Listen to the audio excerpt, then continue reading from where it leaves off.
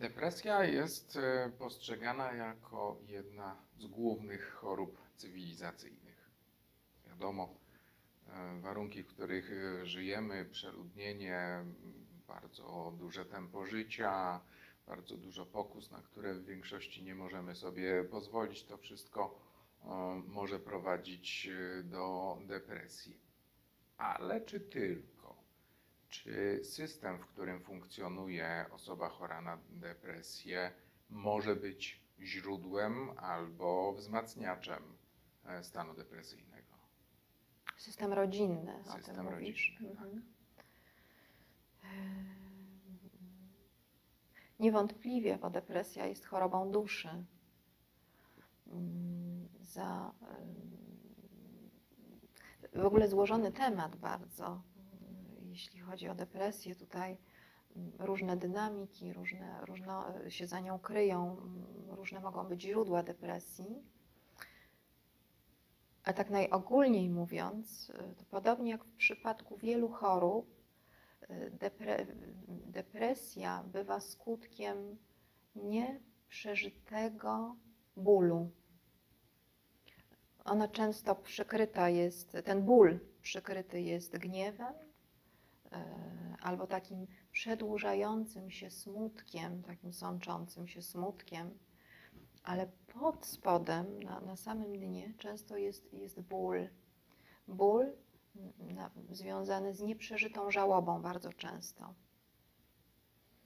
C- Często obserwujemy w ustawieniach, że osoby, które cierpią na depresję, to są osoby, które albo kogoś straciły i się z tym, z tą stratą, ktoś umarł, ktoś bliski i się z tą stratą nie pogodziły, albo są połączone, to mówimy w ustawieniach, że są w rezonansie z kimś, kto przeżył stratę, potężną stratę, na przykład stratę dziecka, albo stracił rodzica w dzieciństwie. To są takie najmocniejsze straty.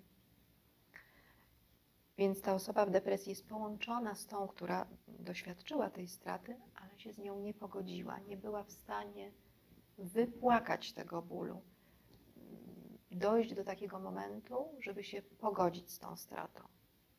Czyli odcięty ból, taki, który, od którego chcemy uciec, bo jest zbyt trudny, on może zamienić się w taki przewlekły depresyjny stan.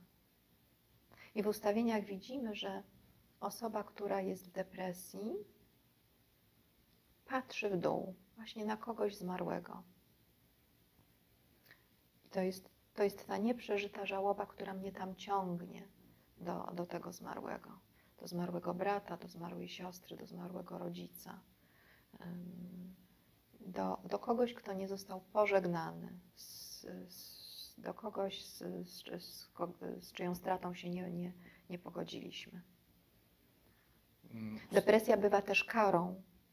Czasami, yy, czasami kiedy mm, wyrządzimy komuś krzywdę, tak jest też w przypadku aborcji. Dużo mam takich doświadczeń, kiedy przychodzą rodzice, mm, którzy dokonali aborcji. To często widzę, że y, matki, oczywiście statystyk nie, nie, nie prowadzę, tak, ale nierzadko chorują na depresję. Tak jakby depresja jest taką pokutą za to, co wyrządziłam mojemu dziecku. Czyli jest takim zatrzymaniem w poczuciu winy, że matka nie jest w stanie przekroczyć tego poczucia winy, przekuć y, tej winy na coś dobrego, nie jest w stanie z powodu tej winy popatrzeć na swoje dziecko i, i, przyjąć je z miłością, przytulić, zobaczyć. Nie jest w stanie, ta wina jej nie pozwala. Tak? Ona, I wtedy skutkiem tego bywa depresja. Ustawienie może tę sytuację zmienić, jak rozumiem. Ustawienie pomaga przekroczyć. Ustawienie nam pomaga zajrzeć, co jest pod depresją.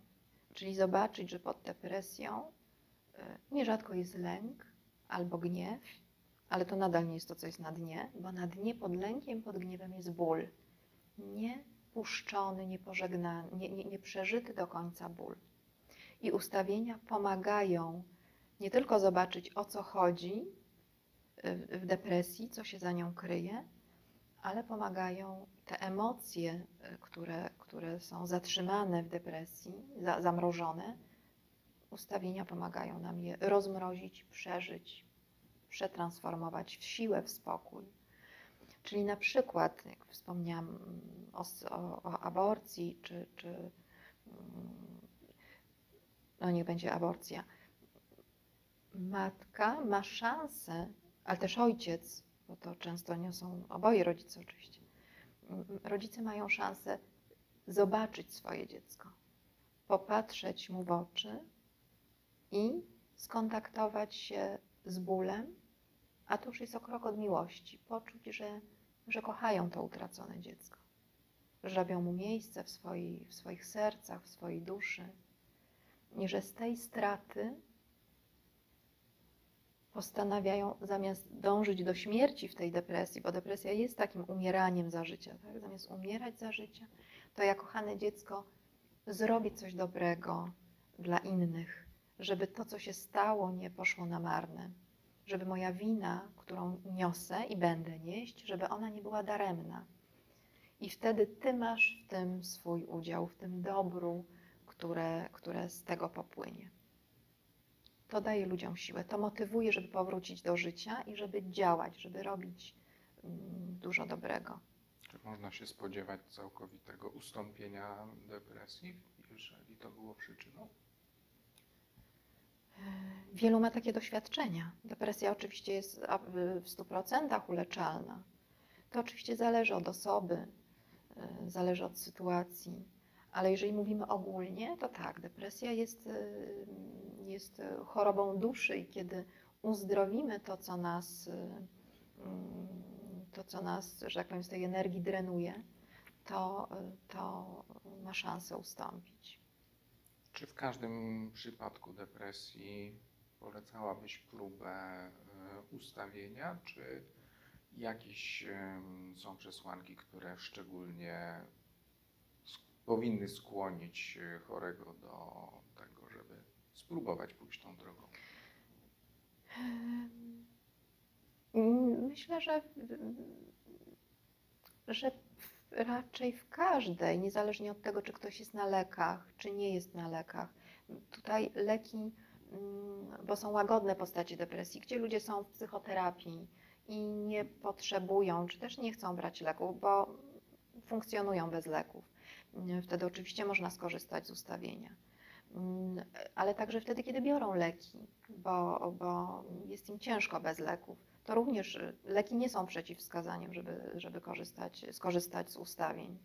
Mm, Tu bywa też pomocna psychoterapia. Myślę, że w ogóle optymalne jest połączenie psychoterapii i ustawień. No i jeżeli jest to niezbędne, to też leków, chociaż trzeba pamiętać, że leki złagodzą objawy, ale nie, nie uzdrowią źródła mm, depresji. Może jest tak, jak pytasz, no to byłabym ostrożna w jednym wypadku. Czasami depresja jest bardzo głęboka i połączona z objawami urojeniowymi, tak na, na, na granicy psychozy. No to wtedy y, rzeczywiście tutaj farmakoterapia i, i psychoterapia na początek to ustawienia. Jeśli ktoś miał zdiagnozowaną depresję z urojeniami, to tutaj bym, bym była ostrożna jeśli chodzi o ustawienia. Ale w ogóle y, uważasz, że mm, szansa na uzdrowienie z depresji, jeśli się y, wykryje źródło systemowe, jest duża. Jeżeli osoba jest otwarta, jeżeli, jeżeli o, dopuszcza to, co się pojawia w, w polu, jeżeli jest w stanie to poczuć, jeżeli jest w stanie podążyć za tym rozwiązaniem też w swoim życiu, to tak. Oczywiście trzeba pamiętać, że to jest proces. Yy, Rzadko się zdarza, choć też bywa, że depresja ustępuje tak z dnia na dzień, choć takie przypadki też znam. Częściej jednak jest to, jest to proces wychodzenia z tego stanu. Yy, I, i, I często też zdarza się, że jedno ustawienie może okazać się niewystarczające. Że, że na de, depresja może być skutkiem różnych historii, które się ze sobą łączą. i jedno ustawienie odsłoni nam jedną historię i człowiek się poczuje odrobinę lepiej, no ale jeszcze nie całkiem dobrze. I za jakiś czas przychodzi znów na ustawienie i odsłania się inna historia. Czasem ludzie mówią, no nie, no to co w końcu, o co w końcu chodzi? Tutaj mi się y, ukazała, ukazało moje usunięte rodzeństwo, na przykład w tej pracy, a, a pół roku później, czy tam jakiś czas później, nagle pokazuje się, że y, no nie wiem co, nieuszanowana pierwsza żona ojca na przykład, albo nieuszanowany pierwszy mąż matki. No to o co chodzi? Wtedy mówię, no i to, i to.